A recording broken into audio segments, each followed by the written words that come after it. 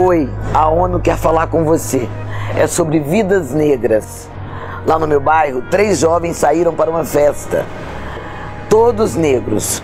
Foram encontrados duas semanas depois. Os corpos estavam numa cova rasa no matagal. Histórias reais como essa acontecem a todo momento no Brasil. Nos próximos 23 minutos, um jovem negro será assassinado.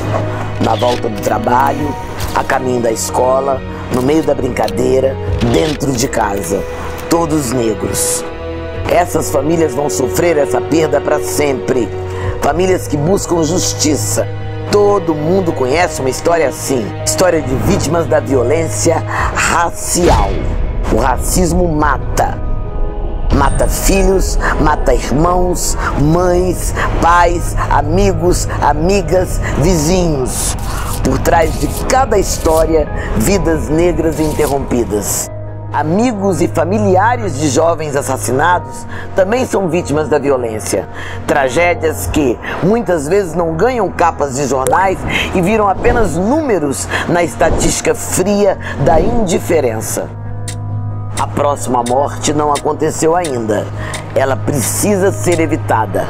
Cabe a cada um de nós impedir que ela aconteça. Lembre-se, o racismo mata. Você não pode ficar indiferente. Por isso estou com a ONU na campanha Vidas Negras, década internacional de afrodescendentes, governos, sociedade civil e você pelo reconhecimento, pela justiça e desenvolvimento. Junte-se à ONU e compartilhe essa ideia.